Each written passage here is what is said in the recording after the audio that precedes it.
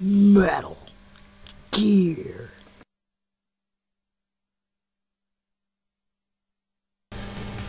This whole video will show you just how to pick a tool and battle in the base. First, move your mouse and click on the icon that says backpack. Now, move around to the side of the weapon on the crosshair that is the one that you want to pick. Now click. Now you want to click on the weapon to the left. It says 2 on top. That is the weapon you have selected. Now click on it and your weapon is ready. You may use it now. You can also do this with the other weapons of select. All you have to do is do the same exact thing. Like grenades, knife, and box. Now that you know what to do, go to the link to the right to play Battle in the Base. You can either play as a guest or make an account.